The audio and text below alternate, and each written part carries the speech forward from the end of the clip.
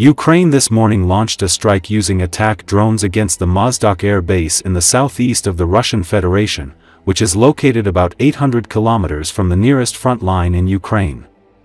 This airfield is the base for the Tu-22M3 strategic bombers, as well as the Su-24MR and MiG-31K. The drone attack on North Ossetia is an operation of the Defense Intelligence of Ukraine. The consequences of the attack are being clarified. This airfield is located in North Ossetia.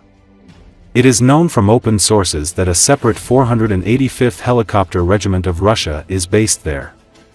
Ukrainians know this airfield because MiG-31K aircraft take off from there. They are the carriers of Kinzhal missiles and the cause of large-scale air alerts in Ukraine. The last time Russia used these missiles was on May 26, when air defense failed to destroy them.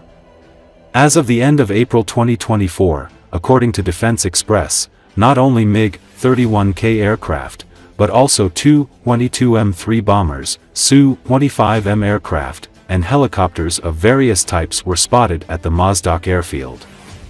Russian Defense Ministry said that one drone was allegedly destroyed in North Ossetia last night. The head of the region, Sergei Menyaylo, claimed that three drones were destroyed. According to him, the drones were flying to a military airfield. This is probably the Mozdok airfield.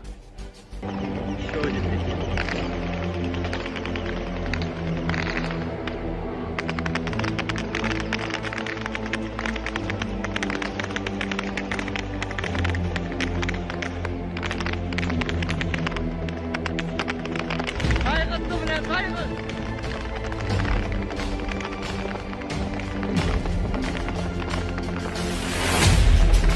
抬子作业本，抬子，好好上课。